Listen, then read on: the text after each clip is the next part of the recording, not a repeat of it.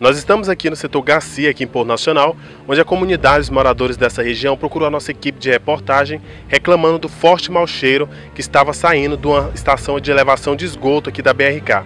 A gente veio aqui conferir e constatou que está vazando esgoto da estação elevatória no córrego Garcia. E a gente veio acompanhar e trazer para você a real situação do local aqui.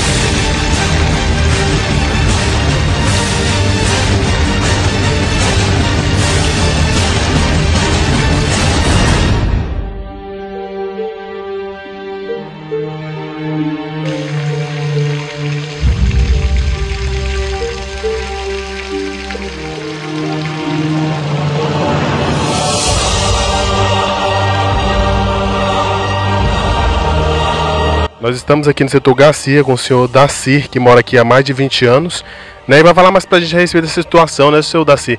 Uma fedentina danada para vocês aqui, né? Fedendo. Até lá em casa tá fedendo, foi. Eu cheguei na atividade, sentindo essa catinga, mas eu não sabia de onde era. Quando foi o meu vizinho veio aqui olhar, chegou aqui, tava o trem aí, acabando com a grota aqui, do povo banhar aqui final de semana.